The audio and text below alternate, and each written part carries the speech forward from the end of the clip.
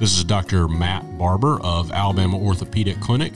We are proud supporters of Ransom Reprogram, Ransom Ministries, and all of the good work that they do in our community. If you would like to learn more about us, check us out at alortho.com or barbertotaljoint.com. You can also hear more from me personally on the Ortho Real podcast. Thank you again for allowing us to be involved with Ransom Ministries and all of the great work that they do.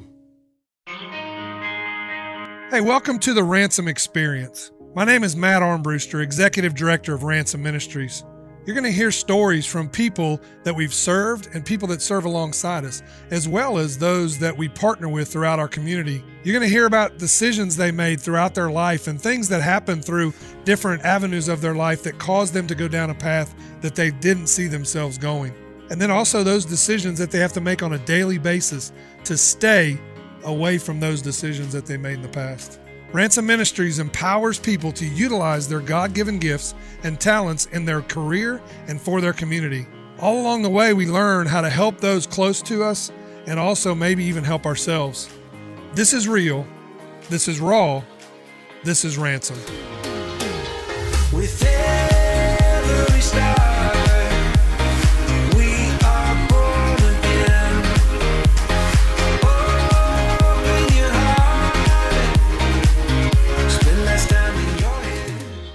This show is brought to you by Ransom Recycling, your number one choice for electronic recycling in Mobile, Alabama. Help reduce waste in our landfills by recycling all of your unwanted, unused, and non working electronics. Ransom Recycling is a division of Ransom Ministries that is helping to put men and women back to work. Check out ransomministries.com for a complete list of acceptable items. Drop offs and pickups can be easily scheduled through the website. Please note that we are not accepting TVs at this time. Ransom Recycling, open 8 to 3 Monday through Friday. Help our planet while helping men and women re enter the workforce.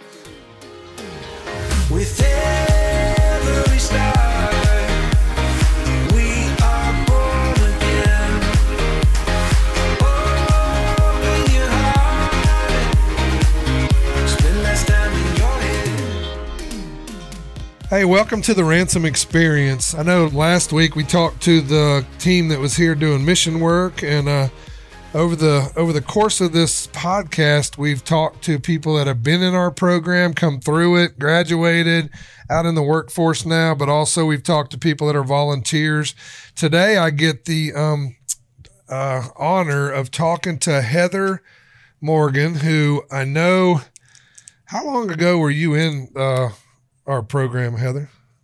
I was in the very first uh, reprogram class. I believe That's it was in 2018. That's right. Our very first one with the Home of Grace. I knew that it was, I thought it was the first, but I wasn't sure if it was that or the second. But I know, so we started that partnership in 2018 where Home of Grace, which is a rehab for women, they bring the, their ladies over kind of in their last month of their program and they go through um, our training for the, for a month. And so you were our first kind of pilot program, which has been, I mean, that was, you know, that was four years ago. So we've brought a lot of ladies. I want to say we're close to 400 ladies have come through since that time. Um, so Wow. I, I appreciate you coming on today and talk about it. So tell me a little bit about Heather. Kind of what what's your story, your life, kind of where you started, childhood, all to through your teenage years. Okay. Um, well, my dad was the pastor of an Assembly of God church when I was a child.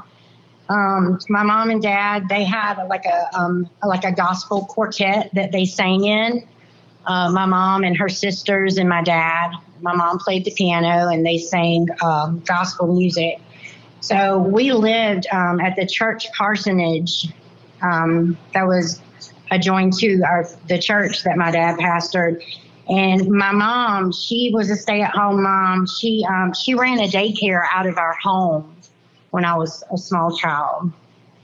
So when I was around eight years old, my parents divorced, and so we left um, my dad's church. Um, he left as well, and we moved to the to my mom's hometown. I moved with my mom to her hometown where her family um, was, and um, during this time, we we went to church a lot. My mom and I, like every time the doors are open, we we were there. There's Sunday morning, Sunday night, Wednesday night.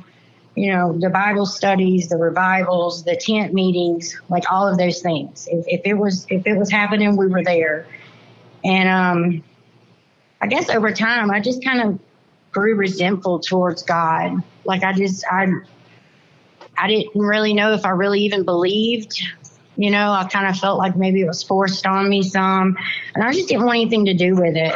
So, um, at the age of 13, I started being very rebellious. Um, I was a good student at, in school. Like I made good grades. It was it was easy for me. School was easy for me. I really I was one of those that didn't really have to study a whole lot. I just I just learned well. But um, at the age of 13, I, I became interested in boys and also started experimenting with drugs and alcohol. And um, so by the age of 16, I basically ran away from my home. You know, I, I hooked up with this much older man and I just left. I just left with him. And um, we, we were able to um, get me a fake ID that said I was 21 years old. And so I started working in clubs at a very young age. Um, you know, um, a 16 year old child has no business in that kind of environment. Um, and I began using very hardcore drugs daily, you know, and um, this this was the beginning of the road to a very deep, uh, dark addiction for me, a life of um, just a life of crime. I, be, I became a very seasoned criminal at a very young age. So, So that was when you were 16, 17? yes. And so you were with this man, you're kind of on your own, you have no parents. Um, do you, would you say that, um, cause I know, you know, people say all the time the preacher kids are the most rebellious. They call them PKs or whatever. But do you, do you think, do you know why that? I mean, cause you, you kind of said, I felt like it was forced on me. Do you think, Yeah. um, since you were in that position that it may, kind of made you feel like you couldn't mess up or maybe, if you did, then it would, you know, hurt your family or whatever. And that could be why you like just kind of took off and did it. I mean, I'm not putting words in your mouth, but it kind of seems that um, you were just rebelling because of that. Because it was kind. I mean, I guess you felt like it was shoved down your throat. Yeah, yeah, and that that's you know very well could be the case, and also I think too that um, you know um, we have a very real enemy in our life, and I think that um, people who are doing something in the church are targeted more so. Yeah. You know, what better way to um, to shut down a, a man of God or a church that's preaching the word of God than than to target their children? You know. That's so true, and you see it all the time. And you know, I've been learning a little bit about the the scripture in Ephesians that said we do not battle against flesh and blood, but against principalities, and that's what I'm really been seeing, you know, in my own life. And so that's a lot of it. So as you got into the um, drugs and the crime and working in clubs, when did you kind of first feel like you were you had a problem, like an addiction problem? Um, I guess I, I didn't um, I didn't really see the consequences of my problems until I um, had my daughter, my oldest daughter. Um, you know, at um, I think I was 24 when I had her. I was married at the time, and um, you know, I um, I just wasn't able to function the way that that a wife and a mother um, supposed to. I um, drugs were just my focus, and I, I needed them to even be able to get up and do um, the things that people do. You know, normally the day to day things. I just wasn't able to do those things without without substances, and it it became very evident to me that that it was a problem. Okay, so um, what what was your first? Like you went to the Home of Grace, but was that your first rehab you went to?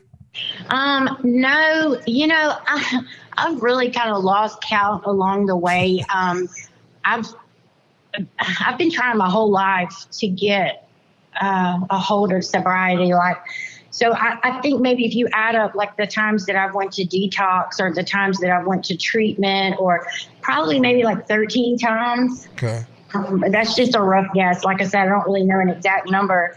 But see, for the longest time, like I was just looking for something to fix me. Like I just wanted, you know, uh, a doctor to give me medicine that would make me stop behaving the way that I was, or a group that I could go sit in that would just magically fix me. You know, like I really wasn't looking at the, the things in my heart. I wasn't, I was just looking at the drug use. Like if I could, in my head, I thought if I could just stop that, then my life would be okay.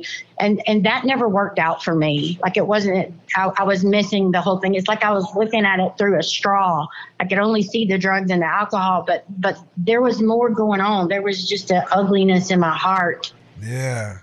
And and I think that's a that's the problem is that we want we think if we can just kick the habit that that's going to be all we need to do, but really the habit is just a uh, symptom of what really is going on in our lives. And that's just something you use to cover those things up. And, and I think that's very wise as you learned, but I think it also shows that as you went through all those different either rehab or, or detox or whatever, that your focus was on the wrong thing. It was on getting clean or staying clean and all that when, when that it really isn't it. You got to heal from the inside out. So how did you start that healing? I know you went to the home of grace and then that's kind of how we met. Tell me a little bit about your experience there, your experience with ransom reprogram, and then we'll talk about kind of where you went after you left here. Um, but kind of tell me a little bit about that. Um, okay, so uh, Home of Grace is great. They they run a wonderful program out there, and I, I love the the women who work there. They're really awesome people, and they're genuine. Like they love what they do, and they really want to help people.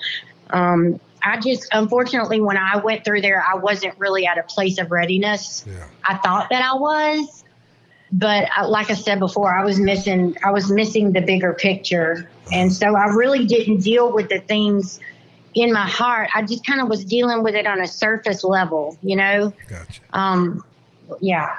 So when I when I come to reprogram, like I said, that was the first class in 2018, and I learned some some really valuable things that have helped me along the way. Like I learned how to I, I, was able to develop my very first resume that I ever had.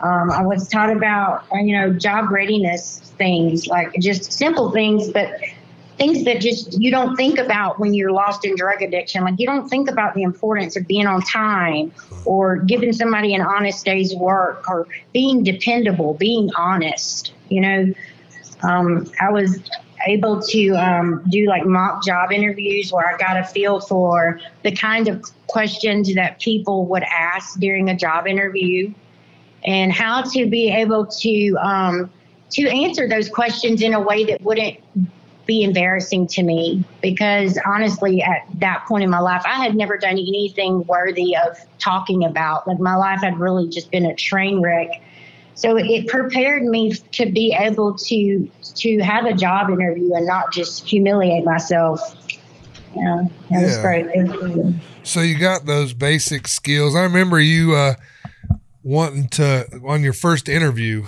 after you did mock interviews and you had an interview. I think it was with a bank, if I'm not from. that- Yes. was that- and how you said how much more confidence and and you didn't get that job, but you were more confident even in the in the interview.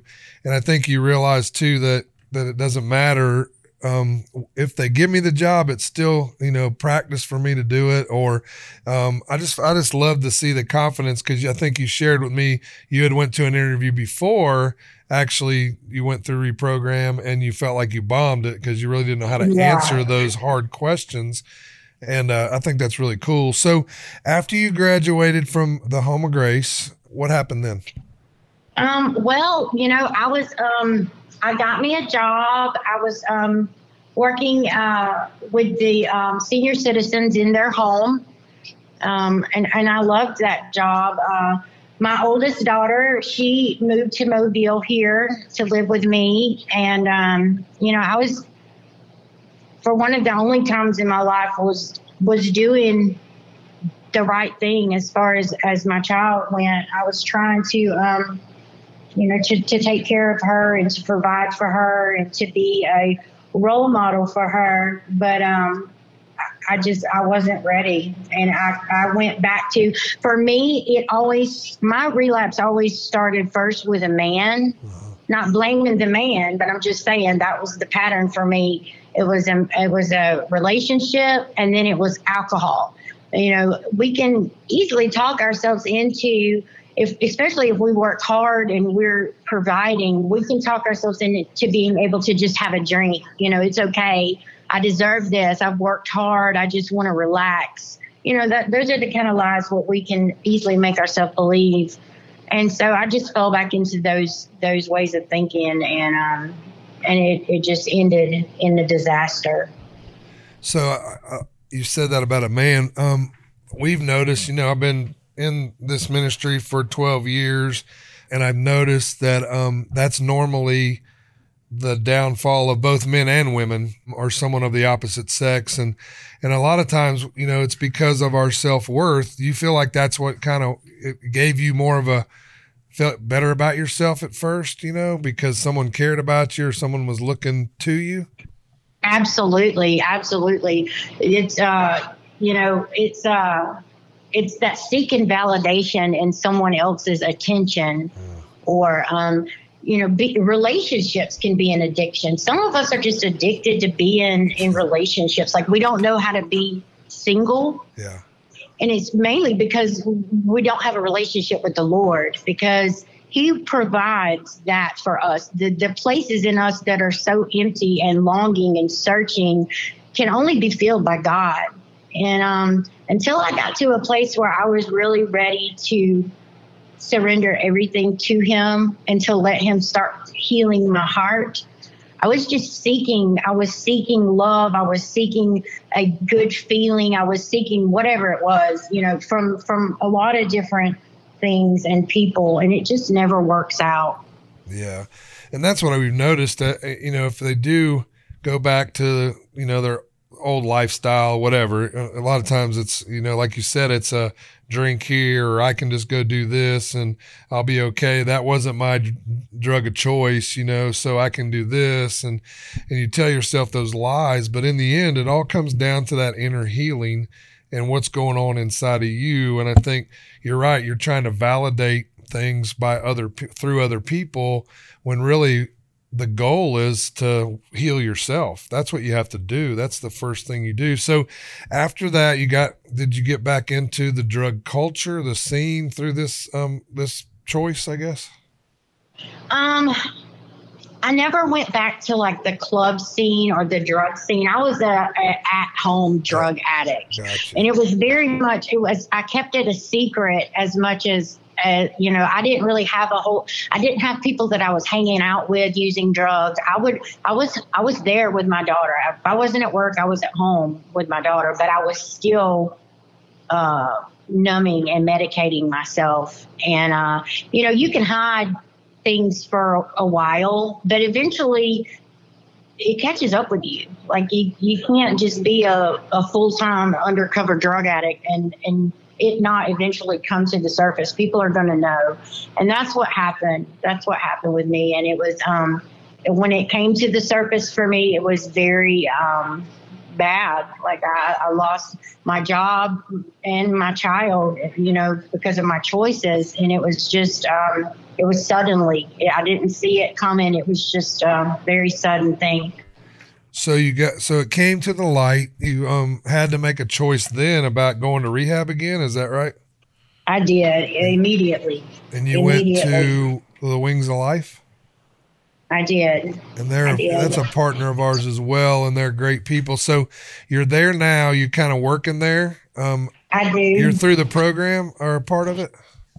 Uh, yes, sir. I've been here for going on 18 months now. Okay. All right. So I, you know, I, I, um, I did their 90 day program, and then they have a they have an extended program. It's a one year long program called their Dove Foundation. Yeah. I stayed and and and completed that program as well.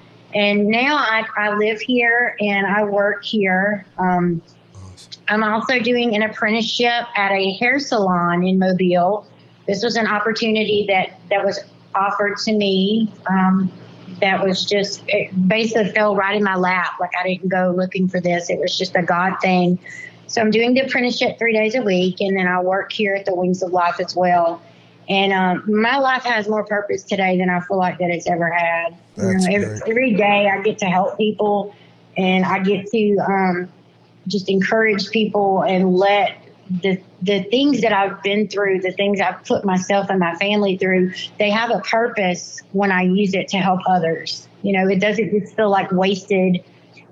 It doesn't feel like wasted space when when I'm able to use it to help someone else. That's right, and it, you know, it tells tells us that God is going to take all things and turn them into good, and that's even our bad choices. He can turn those into good if we allow Him and we put ourselves out there and we're obedient. And you know, I know that that apprenticeship out there, you're around re- really awesome, godly women out there as well. Um, I know them well. They've had um, another graduate of ours had actually done an apprenticeship there, um, and it's I'm, I'm gonna give them a plug while, while we're at it. Is Genesis Hair Salon, and she they're phenomenal people out there, and we're we're so glad to, that they believe in second chances. They believe in giving people a chance, and I really like um, that you're there. So um, there's some people out there probably listening. I, loved what you called that I was a stay-at-home drug addict because there's probably many either drug addicts, alcoholics that are stay home. Um, that are struggling, and one thing you said is that it will come to light because you can only walk that fake life for so long before it gets tiring and you can't do it and you forget you know who you told who you didn't tell, tell or whatever what you told them and what you didn't tell them. And i think that you're a picture of that but what you're also a picture of is god's grace and god's Yes. mercy and how he can do. So if there's someone i mean i know there's someone out there. So what are your goals kind of right now for the future? I know you're there. You're doing this apprenticeship. So kind of what are you thinking down the road? What what, what are your some of your goals? Well, you know, I, I'm hoping that like within a year, a year and a half, I'll be able to uh, have a, a license in cosmetology. But I'm also just, um, you know, walking this thing out. I, I need restoration with my family, uh, with my, my, my children. They just, you know, I've, I've hurt them a lot and I've, I've lied to them. I've abused them and they don't trust me and, and they really don't trust the um, sincerity of my recovery because I've done this so many times in the past and I've always went back. So it's really just going to take me walking it out. Like they just need to see that this is the real deal and that I that I mean it, you know. And so I'm just hoping for full restoration with them, which I know will come. It's coming. That's right. And so we, we have get a lot of people download this podcast. Some people, I mean, I'm sure there's some out there that are struggling. So if there's someone sitting here listening to this podcast right now, maybe in their room or in their home, um, and they're struggling with an addiction, what are something like a something you want to tell them? Um, well, if, if you have breath in your lungs, then there is hope for you. Um, you're never too far gone for God's hand to reach you, and it doesn't matter um, how many times you have have tried recovery and fallen. It doesn't matter how many times or how long you've been in prison. It doesn't matter how many naysayers you have in your life. If you've got breath in your lungs, then God has a plan for your life, and He loves you. That is that is good, and that that is. I'm so proud of you. I'm so proud to have got to know you and see you walk that walk, and that you aren't giving up and you haven't given up. And now I see, you know, the fruits. You know, we haven't been in contact a lot over those, you know, last couple years. But I'm I'm praying that God will open doors for you to minister to people that are going through the same thing you are, but also send people to sit in your chair that you can minister to as well once you become a cosmetologist. And I, I believe you'll be the pheno- a phenomenal one. And um, continue in your healing. Continue, you know, doing the next right thing. Uh, I've been teaching our group here to live in the is, which is I'm going to live in what is, not what could be or what was. Um, Yes. Because if I if I don't, I'm going to miss out on what's right in front of me. And I think that you're a prime example of that. I know you want to get your kids back and you want to reconcile with that and um and work on those relationships. But I think you understand that right now you got to concentrate on what is right in front of you, and that's your healing, your your um, well being. And and I'm proud of you, Heather, for um sharing your story. First of all. Thank you.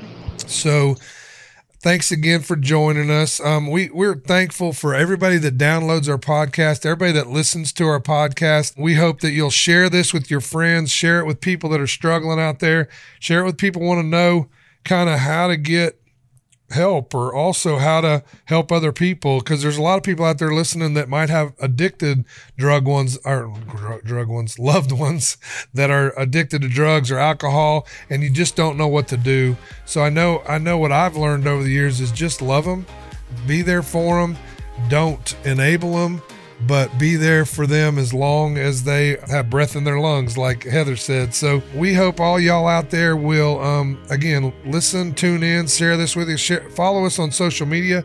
Go to ransomministries.com to find out more about what we do. And we thank you again for joining us today, and we will see you next week. Too many days in the darkness without a glimpse of the light. Running tired and broken and scared, but I swear I'll never give up the fight. With every star.